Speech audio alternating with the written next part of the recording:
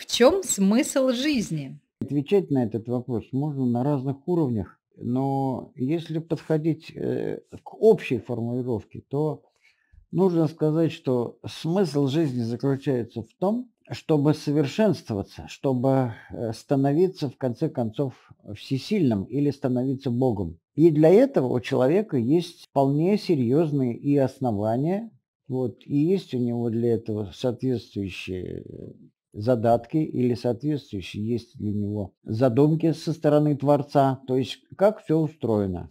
Существует монада человеческая, да, она создана Творцом, и в монаду Творец вложил самого себя, или, можно сказать, копию свою. И эту копию он снабдил всем своим личным опытом. И вот этот личный опыт, он существует в монаде ну, как бы в потенциале. И вот человеческая жизнь и смысл ее в том состоит, чтобы вот, вот эти знания, принадлежащие Творцу, чтобы сделать их своими собственными знаниями, чтобы его опыт сделать своим опытом. И для этого существует жизнь. Жизнь существует таким образом, что Творец, который нас создал, он же нас не бросил, он же нас продолжает вести по жизни. Почему мы называем его отцом? Потому что он продолжает о нас заботиться. И я бы даже сказал так, что все решения, или вернее все дела, которые не являются вашей инициативой, это все делает он и делает специально для вас. Потому что он заинтересован в том, чтобы вы этот опыт получили, возможно, скорее, для того, чтобы вам было комфортно в жизни. Но все это очень хорошо говорить для такого устройства мира, которого мы практически не знаем. То есть есть, э, есть мир, в котором нет демонов, у человека нет демонических энергий, и управляет Землей не паразиты, как это сейчас. И тогда жизнь, она имеет совершенно другой характер.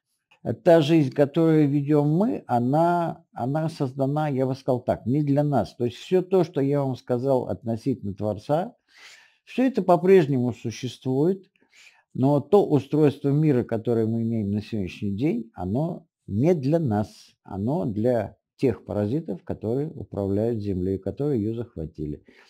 Поэтому нужно всячески сопротивляться этому устройству мира и постараться вот ту задачу, которую перед нами поставил Творец, ее решать.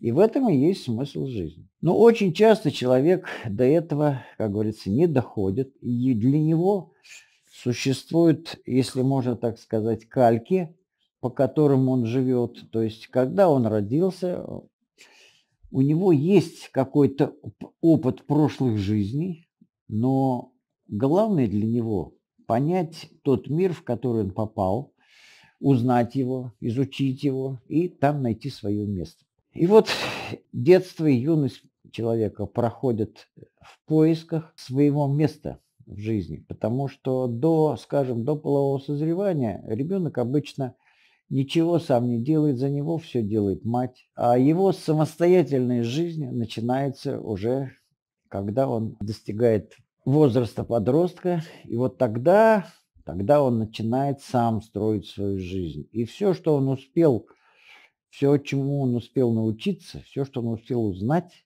до этого момента, вот это весь его багаж, весь его инструментарий, с помощью которого он и будет жить. И смысл его жизни очень часто ограничивается очень узким кругом э, задач, проблем. Это касается создания семьи, это касается работы, это касается получения, получения, если можно сказать, счастья получения радости. Очень часто люди гоняются за удовольствиями. Это совершенно бессмысленная затея, потому что, как известно, вы получите удовольствие, и через короткий промежуток времени вам это все уже не нужно, все забыто вы начинаете гнаться за новыми удовольствиями. И для многих людей вот эта погоня за удовольствиями представляет смысл жизни. На самом деле это, это кривые, на самом деле, кальки, по которым человек живет.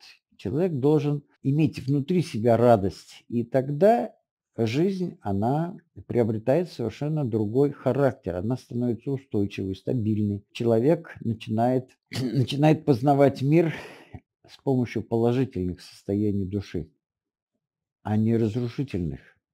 В основном, как это есть сейчас. давайте, давайте надеяться на то, что пройдет еще немного времени, и мы действительно попадем в такой мир, где смысл жизни будет заключаться в счастье.